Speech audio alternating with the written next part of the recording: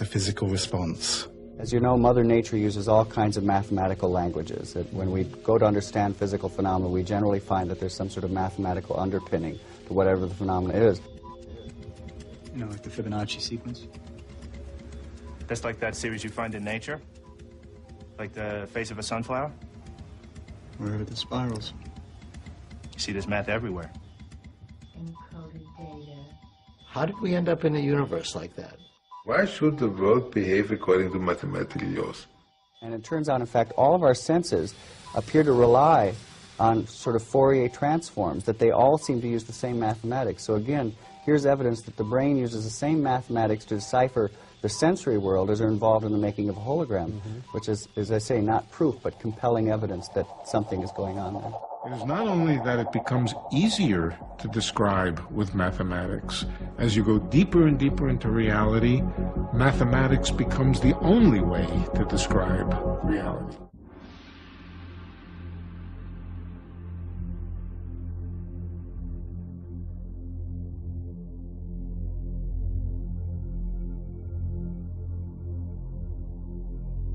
Okay, so one, one, two, three, five. That's the beginning of the Fibonacci sequence. Next number in the sequence, what do you think? How about eight? The number after that, 13. The number after that, 21. So if you're getting those right along with me, then you've recognized the pattern that I wrote with the first few numbers in the Fibonacci sequence, which is this. It starts with a 1, the next number is a 1, then after that, to get the next number, you'll always add the two numbers that came before that. So 1 and 1 is 2, 1 and 2 is 3, 2 and 3 is 5, 3 and 5 is 8, so on and so forth. So that's, the, that's recognizing the pattern that exists in the Fibonacci sequence. So it turns out that this sequence of numbers has all kinds of applications. It describes all kinds of things in the world that we see around us there's a conspiracy to hide this information that DNA is a Fibonacci is an exemplification of this uh, number called, or entity uh, ratio sequence called the uh, golden ratio, the ratio that proves the existence of intelligent design or the uh, reality of intelligent design of the cosmos. I mean, if you go to the golden ratio site for Wikipedia too on the same theme. Um, They don't mention any of this stuff in nature that we're going to talk about here that we talked about on the show two days ago and that we're talking about here. They talk about how it's found in architecture and math and all this kind of stuff. They don't discuss it how it's found in the measurements of the human arm. Why not? It's just, it's, it, I mean, well, I think I'm making, that's the point here. I think that just made sense to me, thinking this through as I say it to you. It has to be a conspiracy. How could all this be overlooked and how could Wikipedia leave it out? It's it can't be. There has to be somehow that big money has pushed their influence uh, somehow, and they've had a drive to keep this covered up or something. These can't all be coincidences, and since they're doing that with everything else, it has to be the case that uh, there's some movement to keep this stifled. I mean, why isn't? In, here's another piece to add to this. Why isn't this in our education system? We learn all this junk geometry pea brain stuff when you take geometry in high school, and they don't teach you about any of this, the golden ratio everywhere in nature. I, I went through elementary school, you know, high school, college, uh, uh, you know, undergrad degree in college, uh, master's degree, and halfway through PhD, and never was this any of this mentioned. It, and we know who controls the universities uh, the big money behind it, all the way up to the Illuminati Nephilim uh, controllers. So this can't be. This is planned, okay?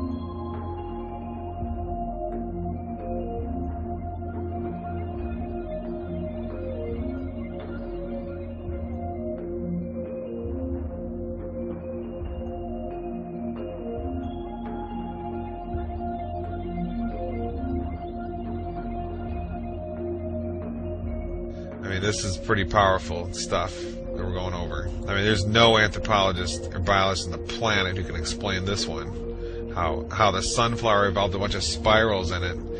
It's a, it's seed pod design, and how those spirals exactly lead to a golden ratio Fibonacci series numbers. Unbelievable. Okay, this is it. There's no question. I mean, we've all been lied to all through our undergraduate college degrees and our elementary schools and on our TVs just by them not discussing all this. I mean, you know examples I have here? There's so many, and they're all this powerful. Okay?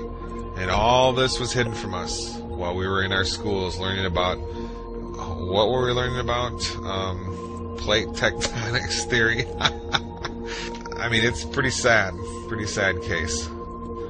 And when it's so obviously everywhere in nature, it has to be a conspiracy in the uh, satanic New World Order Illuminati system we live in. They don't want, I guess, they don't want you to know this stuff because you might realize that this reality you live in is charged with the with the uh, with with Yahweh.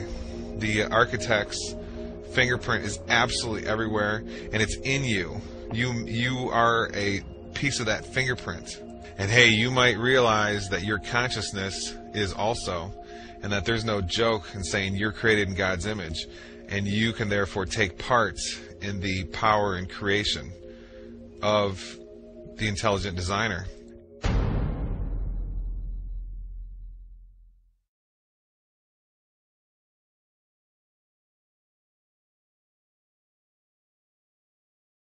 The placebo effect is the extraordinary phenomena of people getting better even when they've only had a dummy treatment or a sham treatment. So that can mean uh, a sugar pill, but it can also mean sham ultrasound, where somebody just holds the machine up to your body but doesn't really switch it on, or even a, a fake uh, operation, where somebody makes the incision and then pretends to do the operation but doesn't actually do anything. And the fascinating and amazing thing is, it turns out that when people get these fake sham treatments, they often get better.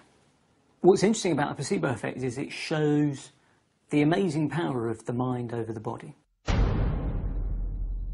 When it comes to the origin of life, there are only two possibilities creation or spontaneous generation. There is no third way. Spontaneous generation was disproved 100 years ago, but that leads us to only one other conclusion, that of supernatural creation. We cannot accept that on philosophical grounds, therefore we choose to believe the impossible, that live, life arose spontaneously by chance. End quote. See what he's, what he's saying there is that science has to be conducted in a naturalistic vacuum. On philosophical grounds, we can't follow the evidence wherever it leads if it leads us outside the natural realm, to a metaphysical realm, to a supernatural realm. We have to stay within this naturalistic, materialistic box. This in 1954, and the idea here is that science will ultimately answer all of these questions. But the last thing that we want to do is jump into some kind of philosophical or theological explanation. It's interesting that 30 years later, in 1984, the late George Wald again gave us another quote. This was called Life and Mind in the Universe, and he actually was speaking at the Quantum Biology Symposium. And here's what he said 30 years after the quote I just read you. It has occurred to me lately, I must confess, with some shock at first to my scientific sensibilities, that both questions, meaning the origin of consciousness in humans and of life from non-living matter, might be brought into some degree of congruence. This is with the assumption that mind, rather than emerging as a late outgrowth in the evolution of life, has existed always as the matrix, the source and condition of physical reality. The stuff of which physical reality is composed is mind stuff. It is mind that has composed a physical universe that breeds life and so eventually evolves creatures that know and create science, art, and technology making animals. In them, the universe begins to know itself. This again was 1984 by the late George Wald, an agnostic and materialist naturalist. But do you see where he's going there? He brings in a notion of mind. He says, as I studied these 30, these 30 years, these three decades since his previous statement, How does matter become mind? It doesn't. Mind must bring forth matter. You see, matter has never brought forth consciousness or rationality or mind. Information. See, now we know with the, the simple cell, so-called, or DNA, that this is information code. Information theory would say that this type of code, this type of ordered sequence, this type of information can only be a product of mind, of intelligence. There is no other alternative. So what is George Wald saying here, even though it shocks his scientific sensibilities? It's that in all areas of study, mind must bring forth information, matter, etc. Matter never brings forth mind. Think about that. The evidence to me that just cries out that there's a God is the study of DNA. DNA is a very powerful, massive information storage system. In fact, DNA that makes up our genes actually is like books of information that's read by a language system. It's absolutely phenomenal. And scientists know today that language is a code, only come from an intelligence, and information only comes from information. Nobody's ever seen matter by itself give rise to a code. Nobody's ever seen matter by itself give rise to information. And as you look at DNA, it actually cries out. In the beginning, God created the universe. We all begin as a single cell the size of a period at the end of a sentence. How does that cell know how to build a, a body with 100 trillion uh, cells in it, thousands of different kinds, and each one of them is so complex, nanochemical machinery beyond our comprehension how it works. And encoded is the, instruction manual. It's the manufacturer's manual how to build and operate every part of this incredible body made up of 100 trillion